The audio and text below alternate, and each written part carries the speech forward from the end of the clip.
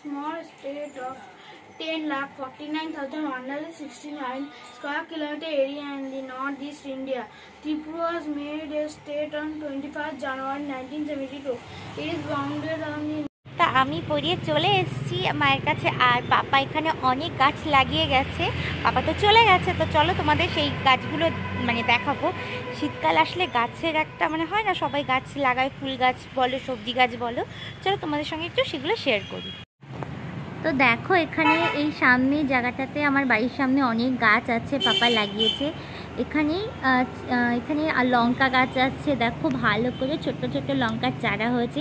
আর পাশে কিন্তু রজনীগন্ধা গাছের গাছও লাগানো হচ্ছে। এখানে তারা ফুল গাছ আছে। আরও এখানে দেখো, শিম গাছও হচ্ছে শিম হলে অবশ্যই দেখাবো।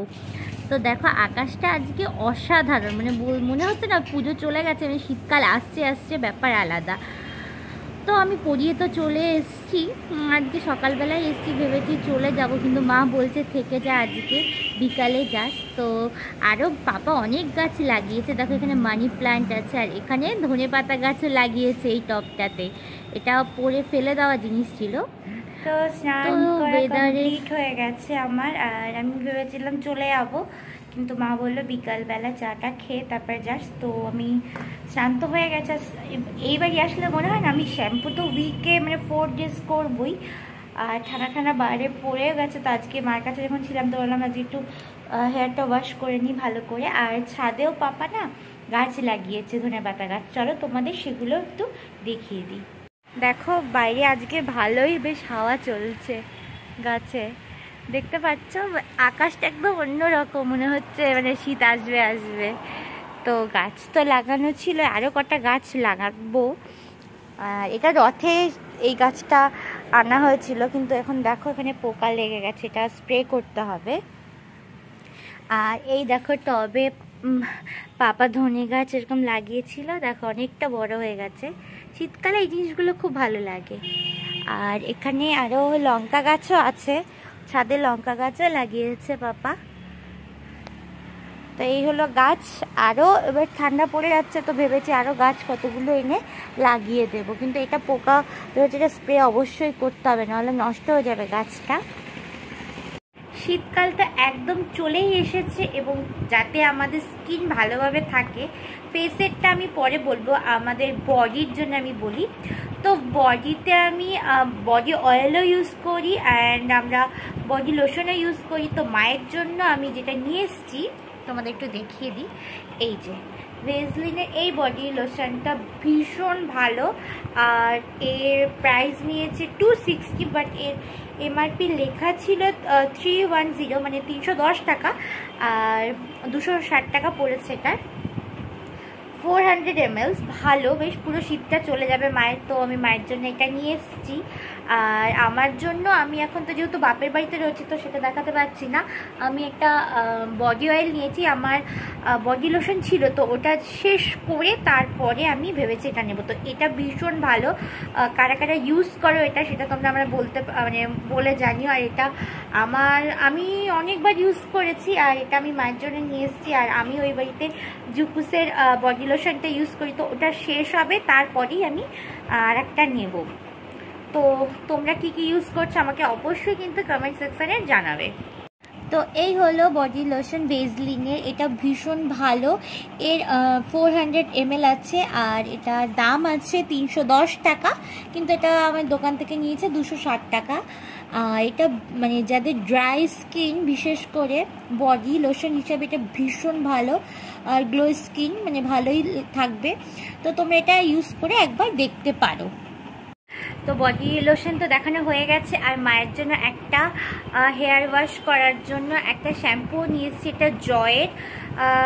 তোমার জয়ের শ্যাম্পু আর এটা আমি আর কি ইউজ করেছি ফার্স্ট টাইম ইউজ করলাম তো ফার্স্ট টাইম ইউজ করে যেটা আমার মনে হয়েছে আমি সেটাই তোমাদের বলব।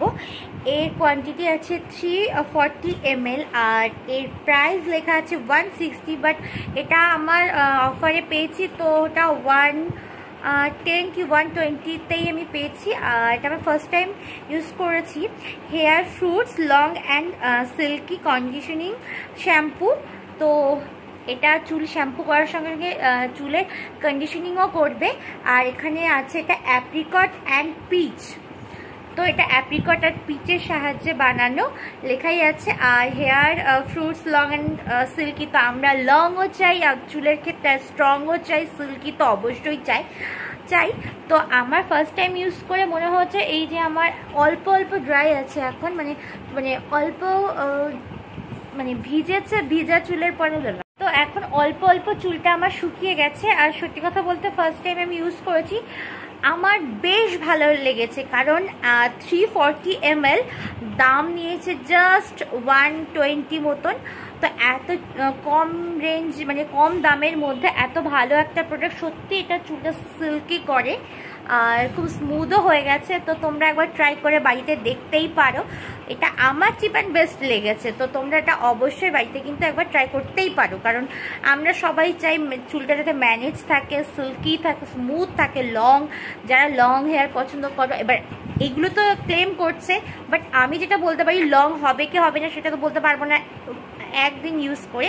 যেটা বলতে পারব সেটা হচ্ছে সত্যি এটা মানে সিল্কি তো খুব ভালোভাবে আমি তোমাদের দেখিয়ে দিচ্ছি। সিল্কি তো মানে খুব ভালোভাবে হয়েছে। তো তোমরা এটা ইউজ করে একবার দেখতে পারো। তো এটা আমি মায়ের জন্য কিনেছিলাম, এখন আমার খুব পছন্দ হয়ে গেছে। তো যখন এখানে আসব তখন এটা ইউজ করে নেব। আর শ্বশুরবাড়ি তো আমার আছে, ওটা শেষ হয়ে গেলে এটা তো অবশ্যই কিনবো। তো এটা তোমাদের একটু দেখিয়ে দিলাম। যেহেতু সব কিছু শেয়ার করি, তো ভাবলাম অনেকে চুলের ভালো একটা শ্যাম্পু বলতে বলো চিপ অ্যান্ড ডাস্টার মতো। তো আমি এটা তোমাদের অবশ্যই বলব যে উইকে ফোর ডেজ অবশ্যই শ্যাম্পু করবে। চুলটাকে ভালো রাখতে গেলে যেটা করতে হবে, চুলটাকে ভালো করে স্ক্যাল্পটাকে ক্লিন করতে হবে। চুলটা যাতে পরিষ্কার থাকে। এখানে অর্ধেক সমস্যার সমাধান হয়ে যায় যদি তোমার চুলটা ভালোভাবে পরিষ্কার থাকে। তো প্লিজ তোমরা উইকে ফোর ডেজ অবশ্যই শ্যাম্পু করবে। তো খাওয়া দাওয়া আমার কমপ্লিট হয়ে গেছে। আমার খাওয়া দাওয়া একদম মানে বলে না, মায়ের কাছে আসলে খাওয়া দাওয়া খিদেও পায় না। আমি মায়ের কাছে আসলে সব থেকে মনে হয় আমি ভালো থাকি। মানে হাজব্যান্ডের কাছে গেলেও ভালো থাকি, কিন্তু বলে না, সবাই বলে মানে পাপা কি পরি হু বাট আমি পাপা কি পরি না, আমি মাম্মা কা পরি হু। ওরকম ব্যাপার। পাপা খুব ভালোবাসে, আমার মাও খুব ভালোবাসে। কিন্তু মানে মা পাপা কর্মসূত্রে যেহেতু বাইরে থাকে, কিন্তু মায়ের সঙ্গে আমার ছোটোবেলার থেকেই মনে হয় যে মা কাছে। আর বিয়ের পরে তো সেটা খুব ভালো করে বুঝে গেছি যে মা, বাবা, সবাই আত্মীয় স্বজন তো কাছেরই। মা, বাবা খুব কাছের মানুষ হয়ে থাকে। আর যারা বিয়ে করনি, আমার চ্যানেলে যারা আছো, তারা বুঝবে বিয়ের পরে। আর যারা অলরেডি বিবাহিত ম্যারেড তারা তো বুঝেই গেছো। তো যাই হোক, আমার হাজব্যান্ড আমাকে ভীষণ ভালোবাসে, ভীষণ সাপোর্ট করে প্রত্যেকটা বিষয়ে। তো যাই হোক, আমি তোমাদের কিছু টিপস দেবো। ধরো শীতকাল আসছে, বাইরে বেরোতে হয়।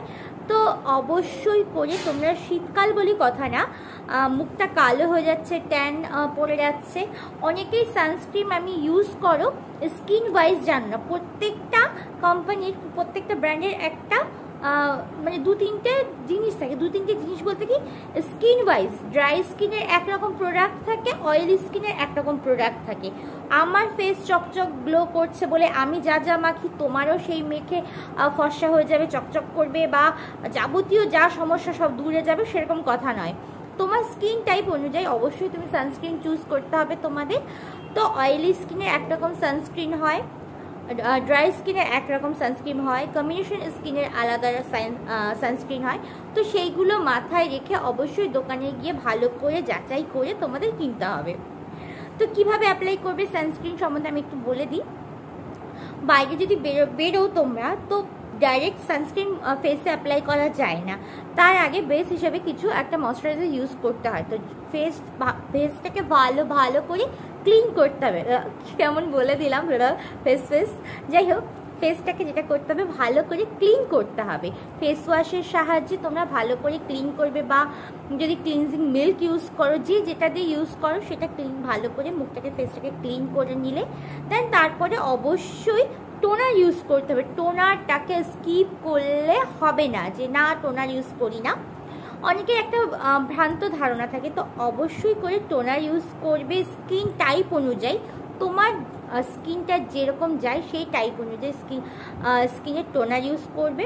দিয়ে তারপরে ময়শ্চারাইজার ইউজ করতে হবে স্কিন অনুযায়ী। ড্রাই স্কিনের ময়শ্চারাইজার, অয়েলি স্কিনের ময়শ্চারাইজার ইউজ, যে যেরকম স্কিন সেই টাইপ অনুযায়ী ময়শ্চারাইজার ইউজ করার পরে তারপরে সানস্ক্রিন ইউজ করতে হবে। অবশ্যই সানস্ক্রিন গলাতে, হাতে ফেসে অ্যাপ্লাই করে ঠিক তার দশ থেকে পনেরো মিনিট পরে বাড়ির থেকে বেরোতে হবে। এরকম না যে ফেসে সানস্ক্রিনে অ্যাপ্লাই করলাম আর বেরিয়ে গেলাম।